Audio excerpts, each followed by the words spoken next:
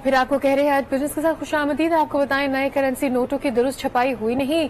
मोदी हुकूमत ने 500 और 1000 रुपये के नोट मतरूक कर दिए। इतवार को भी बैंक खुले रहे, जहाँ लाखों शहरी नोटों की तब्दीली के लिए परेशान रहे। शहरी कहते हैं वज़ीर आज़म को आवाम की परेशानी का कोई एहसास नहीं।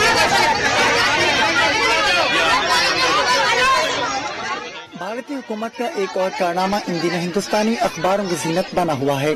वज़ीर आज़म मोदी ने रातों रात 500 और 1000 रूपए के करेंसी नोट मतरूक कर दिए और इनके अविज 2000 रूपए का जदीद नोट मुतारिफ कराने का फैसला किया। लेकिन सारा खेल उस वक्त खराब हो गया जब नए करेंसी नोट में लफ्ज 2000 को दो बाज़ार छाप दिया गया। फिर क्या था? भारतीय मीडिया जो पहले ही नोट की तब्दीली पर हंगामा आराई की खबरें छाप रहा है, इसे मौका मिल गया। और नोट पर गलत प्रिंटिंग की खबरें भी खूब शाया की दूसरी जानब भारत में इतवार को भी बैंक ब्रांचेस खुली रहीं, जहाँ 500 और 1000 रूपए के मतूक नोट तब्दील करवाने वालों का तांता बना रहा। भारत में 500 और 1000 रूपए मालियत के नोटों का लेन देन खत्म हुआ चौथा रोज है। लेकिन मुनासिब इंतज़ाम न होने की वजह ऐसी शहरियों को इन नोटों की तब्दीली में सख्त मुश्किल का सामना है।